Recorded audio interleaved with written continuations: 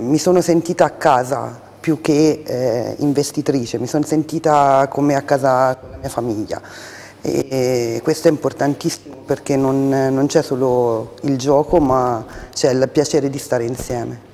Il calcio per te che cos'è? No? Perché hai un business. Un business.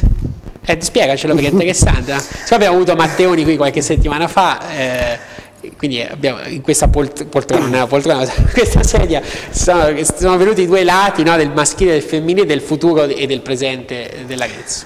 Il calcio è un business perché mm, se si prende solo il gioco del calcio si perdono solo soldi perché c'è solo da investire nei calciatori, nel, negli impianti, invece eh, se le amministrazioni ci danno la possibilità possiamo costruire delle strutture eh, dove eh, possiamo mettere all'interno palestre, piscine, centri benessere, negozi, attività ludiche per i ragazzi e ristorazione, quindi è un investimento, è un business.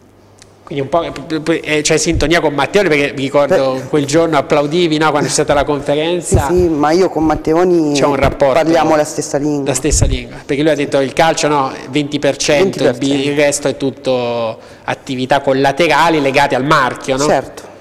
Qui ci possono essere ipotesi di unione, tra virgolette, diciamo, tra la parte maschile e quella femminile? I rapporti sono buoni, sì.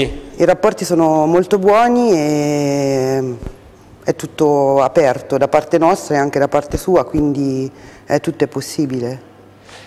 Dicevate prima di una, trovare una casa, una struttura e avete avviato diciamo, dei colloqui con l'amministrazione o dipende dall'amministrazione in particolare? Ieri ho avuto eh, un incontro, un incontro ho letto con... su, su, Facebook le modalità anche con cui c'è stato. Eh. Eh, con l'assessore Nisini sì. e assessore allo sport.